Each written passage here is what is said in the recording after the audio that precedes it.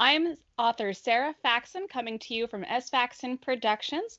And today we're going to be interviewing another author in our author interview series. We'll be interviewing my friend Jerry Strayve about his books, First Spouse of the United States, and his upcoming works, Braxton Century. So, Jerry, I want to thank you very much for coming today. Great. Well, I'm glad to be here. Thank you for having me. So, Jerry and I met in the Writer's Crutch, which is an author's uh, marketing uh, class, which was brought to us by Tamara, uh, Tamara Merrill and Jerry Strayve. And it was so much fun. It was such a great class. And we're definitely going to talk about that at the end. So be sure to stay tuned for that. And in the meantime, I want to talk to Jerry about his books. Now, I'm currently about two thirds of the way through First Spouse of the United States. So I'm absolutely loving it. It is such an adventure. And there have been so many times where I've actually had to put the book down and be like, oh my gosh, this poor guy, because I'm just so in love with Rocky. Jerry, you've done an amazing job with this character. Uh, you want to tell us a little bit more about him to introduce him to our watchers here? Okay. All right. Uh, Rocky uh, Ricardo Chambers uh, is a guy that I have uh, set up where he's in high school in La Jolla and goes to La Jolla High School. He's a football player. He's a man about campus and what have you. So we kind of um, it, the first chapter is a flashback to his high school years, and then it proceeds all the way on through. And uh, he's just the kind of guy that everybody wants to be like, you know, uh, or every girl wants to date, but it's not. Everything that you see is not what you see. And so that's kind of how I start the book. It's like, okay, this is Mr. Marvelous, but things are going to change. And change they do. And it's so interesting to go through his journey um, right there with him from his perspective. And one of the things that you really touch very well on is being with that character in the moment. Now, it's not written first person perspective necessarily, but you are there with Rocky. And one of the things that I've really appreciated so far is that you describe things the way Rocky sees them, or your characters who surround Rocky see them. So, one of the examples is you talk about AIDS and you know huge topic in the 80s but nobody really knew what was going on and you've captured that where they're like yeah there's this thing happening not really sure what's going on, but you want to be a little bit more careful here. And you know, coming at this from the perspective of 2020, where we we know what it was, we know how it affected, how it had huge, drastic, horrible, um, devastating effects um, globally. And you know, with illness on everybody's mind right now during our um, our crisis of today, um, it's interesting how you've been able to tra- not trap us in that time, but bring us back to that time, which feels very real right now, where we're not sure what's going on. Mm-hmm. So, um, you know, how how was that balance for you as a writer, being like, you know, this is what we knew at this time, and I want to ensure that we remember that at a point we didn't know what was going on. So how do you kind of pick and choose like what what what facts do you want to bring out? What do you want us to know? How did you um, figure out that balance?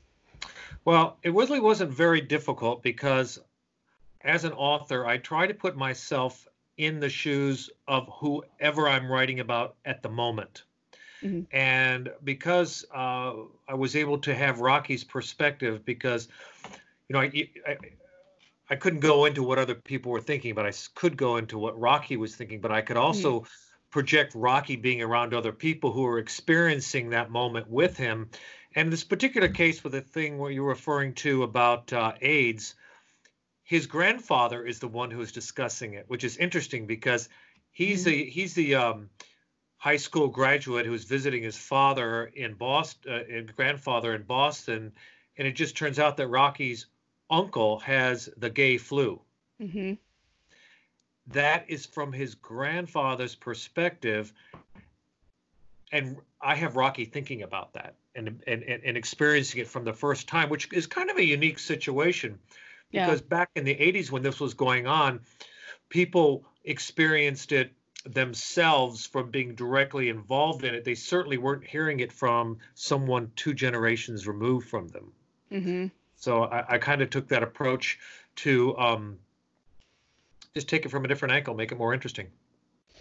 And it was. And, you know, it it felt so relatable to today where we don't know what's going on. We right. don't know necessarily. Well, I mean, we know a little bit more now, and because of where technology is and um, our science that we have available to us at this point, you know, we're able to learn things much more more quickly. But it, you know, really grounded me reading those right. scenes of just this reminder of like this has been within the last 30 years where right. you know something like this was going on and nobody knew what was happening and so right. you know I, I really connected to that and, but you know what experienced in the book is what we all experienced back then mm. that was reality for us i mean when i look today where we're going through the pandemic this is so much more understandable and so much easier for me to internalize than the aids thing was because back then it was first of all it was the um, God's curse on homosexuals. Mm. So we, those of us who were looking around and wondering what were going on, were being persecuted at the same time. Yeah. So uh, this pandemic, as terrible as it is at this time, it's different. It's different this time around. Yeah, and that's that's a really big thing to bring up is that you know how how people I think of my generation sort of forget that. You know, this is our first major um, illness that we recall. I mean, we were probably kids towards the end of, you know, the the true fear factors of that were being projected out there with the AIDS crisis. We don't really remember that. And so that's why I think it's so important to have books like yours that really just put that back in our face and be like, oh, you know we've we've lived in a time where it's much more open and much more understanding and there's so much more information and you know love going on where we understand. And, and you're not evil because you have covid-19 exactly yes. And so you know seeing that is just a really good reminder of grounding us in what how far we've come mm-hmm. you know? And I, I think that's it's a beautiful reminder within your book um, you know covid-19 is also um, the second pandemic of my generation. It's, it's the first. The first one. Yeah. And here we are. Yeah.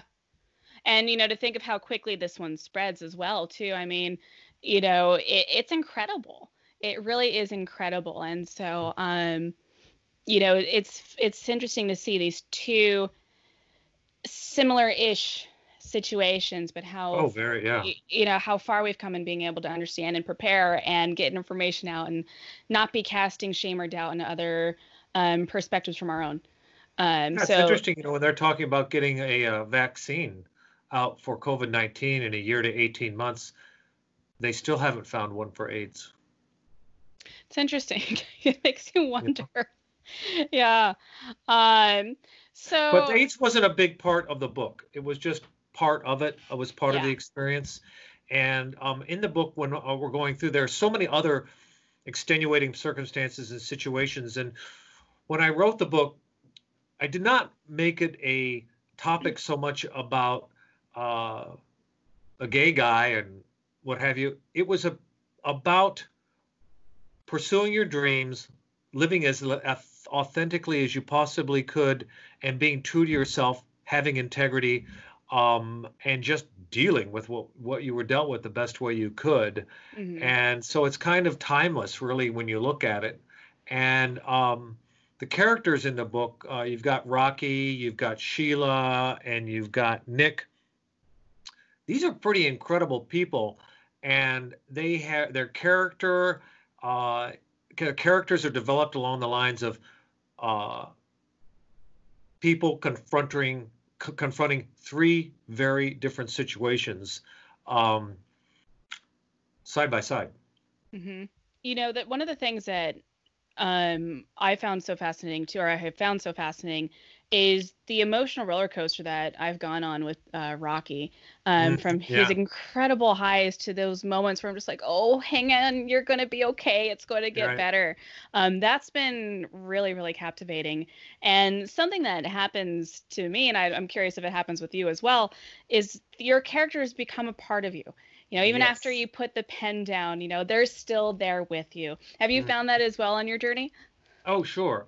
Um, well, you as an author can probably relate to this and even people who have just tell stories in their head that's how i got started on this and we can talk about that later but when I'm writing this book, they are living with me 24 hours a day. and I will go to bed at night and I'm thinking, okay, now how do I get through this situation? How do I tell this part of it? Or how do I do this, that? And then something creeps in. It's like, uh, let's say, for instance, I'm going over something that Rocky's going through, then all of a sudden Nick comes into my head, or the grandfather comes in, or maybe um, some other character they enter into it and then that reaction i just start it's like taking a working on clay. If, if you've if you've ever had a, a clay wheel and you're they're forming something and then you realize uh, maybe your finger touches it and it creates a different line and you decide to go somewhere else with it mm. or as you're forming the piece something happens and it takes a totally different shape and that is what happened with me because when i write my books I don't outline outline them ahead of time. I have a general idea where I'm going, but oh god, it, they just take a life of their own. So I huh. appreciate you bringing that up because my characters drive my book.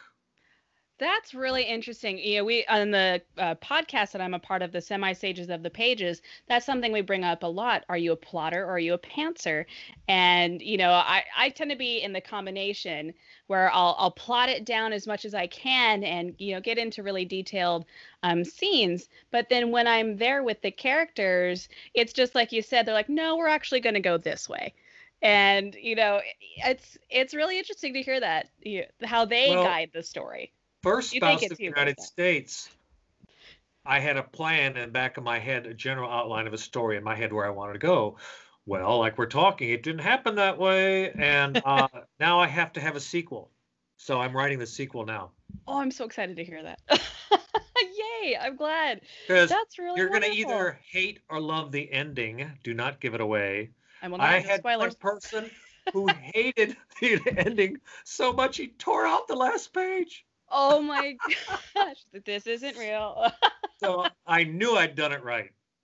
So. When you can connect to um, your readers to that extent, where yeah. they are so emotionally connected to these characters, we're like, no, this is not how it's going to end. I think you've done your job right.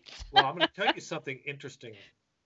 What first I was kind of disappointed in this, but I have three daughters, and one of them has special needs, and um, that actually enters into the book a little bit. But but my other two daughters are both very um, tuned to literature, acting, theater, and all that good stuff. But neither of them could finish the book ah. because it is so personal, ah. and they almost felt like this is too uncomfortable for to read something my father has written of this nature. Hmm. So, Interesting. I and um, so that really didn't sync really well with me in the beginning, and then I really said, "Oh, well, you lose." so. you know, a long time ago, someone gave me advice to that effect of something like, you know, your best friends in the world, the ones who will live and die for you.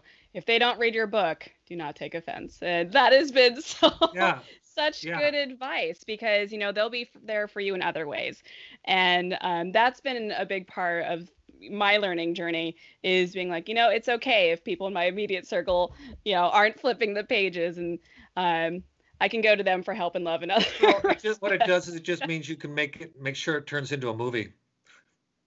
Then they have to go. They have to go. I mean, exactly. you might have to give them popcorn or something, but they have to go. Such sacrifices, right?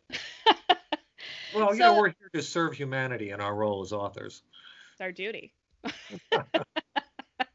so speaking of our role as authors, um, one of the things that i've really, really um, gleaned from you and Tamara Merrill um, was how it's incumbent upon us, the authors, to take our marketing reins into our own hands.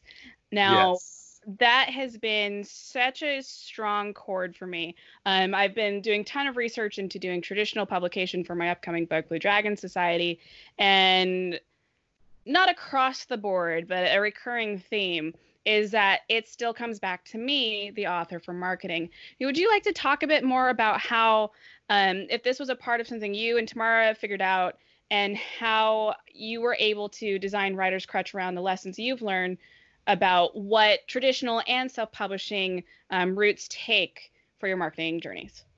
Okay.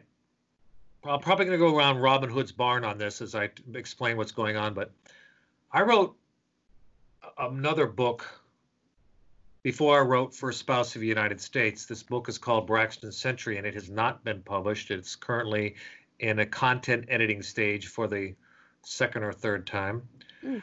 Um, when I originally wrote Braxton Century, I had no idea how to write a book. I'd gone through a illness, and um, long story short, I just started writing. I started writing it in um, August 9th of 2017 and finished writing it in December 5th of that same year. And I was about 100,000 words, 140,000 words.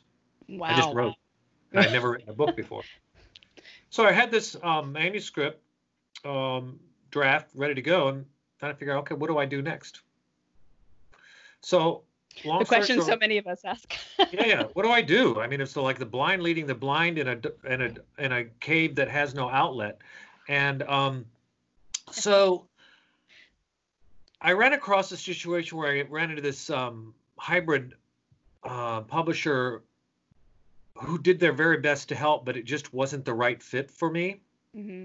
And I realized more and more what I didn't know, and all of a sudden I just felt like this mountain this uh, you know um, huge mountain of ignorance. That's what I really felt like. I said, I have no idea what I'm doing. I have no way idea how to get up this mountain. How do I get up this and market my book? It was it was like one avalanche after another coming off down, just tossing you to the side and throwing you about. So um, kept picking myself up, going back at it, and talked to a lot of people. And um, little bit by little bit, I was able to make it a little bit further up the mountain.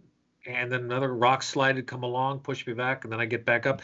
And so this thing has been going on. I'm not at the top anywhere near at the top yet, but I'm still making my way up there. And fortunately, I have friends like you that we do this together, and it makes the journey uh, so much more multifaceted and enjoyable you know, along the way. I'm enjoying the journey now, where before I was was not happy camper. Okay. Yeah.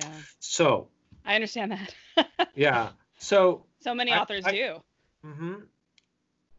So, you know, you get a point in life one time at some point you think, oh God, I learned this. I want to share this, so maybe I can help someone. So that was in the back of my head all along, and I've spent a lot of time. I was a parent and I've you know been a business owner and I've had different leadership things and what have you. So you you get in the habit of sharing, right? So I was um, I joined the San Diego Writers and Editors Guild a couple years ago, and there was a meeting about eight months ago that we were talking about marketing now, and I had been through a lot of marketing classes and. I felt that I was picking up a lot of information, but I didn't. I couldn't get all that information to come together, gel together, where I could just make make it work for me and, and get out there and get things done with all this really neat uh, information that I had learned and very valuable information. So I was sitting in the class and there was this gal. Uh, her name is Tamara Merrill, and uh, she was talking about how she had put together an 18 month calendar for marketing her books. And she's written, I think, at least five books and umpteen sh- short stories. I think she's in seven anthologies, but she's been writing all her life. She's a very talented writer. And uh, so I felt a little carnivorous at the moment because I said, I got to latch onto that. She's doing exactly what I want to do because I've always been a planner. I've always plotted out my schedules, my goals, and where I wanted to be. But I didn't know enough on how to put this thing together in a cohesive manner. And darn it, I was just frustrated after a lot of money, more time than you can imagine, and getting nowhere fast. Mm-hmm. So, long story short, I reached out to her and immediately we decided, hey, we can do this together. We can make our own calendars better. You've heard the old adage, if you want to learn something, you teach it. Mm-hmm. So, so, we decided true. that we would do that. And we put together this class, um, eight classes, three hours each, and you, you and so many other marvelous people participated in it. And it's one of those serendipities where Tamara and I came away from this class realizing we had learned more than we had taught and uh, was just a win-win for everybody. Yeah. And we took great pleasure not only in sharing what we knew, but watching people put things to use, things that we had learned not just from ourselves and our own experiences, but we were learning from the classes we were going through. And it became a very, um, I don't know, I think it became a very synergetic and um, uh, a working group, you know, that where we kind of all work together and just help each other move forward. So it's a lot of work that class. Uh, there's a lot of, I think we had, oh God, hundreds of hours we put into planning it. I the darn syllabus the darn syllabus i think is 50 or 60 pages long. So we covered a lot of material but it was a great great it was great doing it. And today i'm better at marketing my books um, implementing what we taught and what we learned from our students and you know it really was phenomenal. I mean you you said it so well. I mean and not having a clear direction like yeah i want to sell books. I want to get my name out there. That's a direction but you got to set your sails and know which way to go to get right. there. And um, what i really really enjoyed from the classes I, am also a planner. I have to have my day-to-day schedule um, outlined was that it wasn't just a today i'm going to do this this week i'm going to do this. It's 18 months you're going to do this. Right. and so working one of the most helpful things i found was knowing that timeline okay blue dragon society i'd like to have published at this time which means three months before that i have to have this done you know five months before six months and then working backwards that's been huge so that right. was probably one of the the first aha moments for me we right. talk about aha moments a lot in my semi-sage group um, that was huge and having that organization was so wonderful but one of the things that i enjoyed the most like you said was was communicating with each other and learning from each other. And we're still doing it. And now we're having these wonderful happy hours where we all get together and are holding each other accountable. Um, you know, the community that you and Tamara fostered was absolutely wonderful. And we're all so grateful for everything that you two did and are continuing to do for us. And, um, you know, to you viewers out there, I highly, highly recommend the class. Um, or finding something like it, or right putting in the effort to learn about marketing. It is right. so important. You know, you can't just post once or twice a week on Instagram. You mm-hmm. have to really figure out, as you know, taking a class like this will tell you, finding your audience. If you just start there, that's probably one of the best points um, you can mm-hmm. stem from. And um, you know, one of the things that you do really well is with your blogs, what have you. And I've had a, I had I did a blog recently um, on um, Captain Crozier, the fellow that was uh, commanding officer of the USS uh, Theodore Roosevelt, mm. when he and a lot of his 800 of his crew came down with the uh, coronavirus.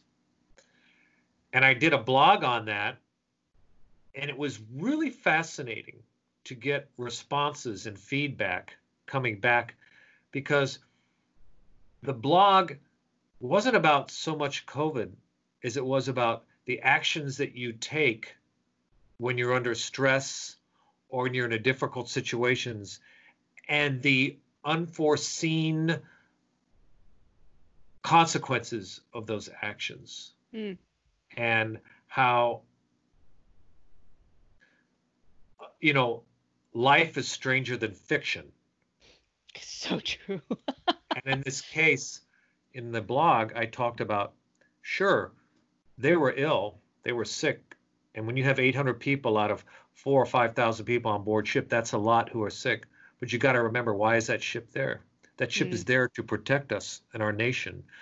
And if the enemy is aware that you've lost up to 20% of your crew, they might attack you. Yeah. So very interesting point. Know your know your enemy, but most of all, to know your enemy, you have to know yourself. Mm-hmm. So a neat thing about being an author is you can bring life experience you bring experience in life to a different level and share uh, share so much without feeling like you're pontificating and maybe you are but people are enjoying while you scream at them and call them an idiot you know? But um, but it, it's kind of fascinating and, and a serendipity in my marketing because I was I was talking about that situation with COVID 19 and relating it back to Rocky's experience in First Spouse of the United States is his role is a naval fighter pilot on board an aircraft carrier during the Iraq Iran War. Mm. So it's weird how this all comes around and together and brings a lot of synergy to what you're talking about. So I'll have people reading First Spouse of the United States who would never have had the opportunity to read it, but at the end of my blog, I've got that mention of the fact that I'm an author, blah, blah, blah. And cool, like huh? you said, yeah, bringing it all back together and making those connections and um, finding other ways to be creative, right? Right, right. Um, and so, you know, Jerry, I want to thank you so much for joining us here tonight. This has been absolutely wonderful. Again, guys, go check out Jerry Strayve's uh, books, First Spouse of the United States. Be sure to keep out keep an eye out for Braxton Sentry. It's going to be fantastic. Right. Cannot wait to read that. And we'll be sure to have links to Jerry's website in the description below. Right. Again, Jerry, thank you so much. Absolutely pleasure to have you here. Well, great being here, and I really, uh, really um, have enjoyed getting to know you and everyone else in the class, and so grateful that we're we're able to continue our friendships and help each other along. Thank you. Be sure to click the subscribe button for more author interviews, writing tips, and insights into a writer's life.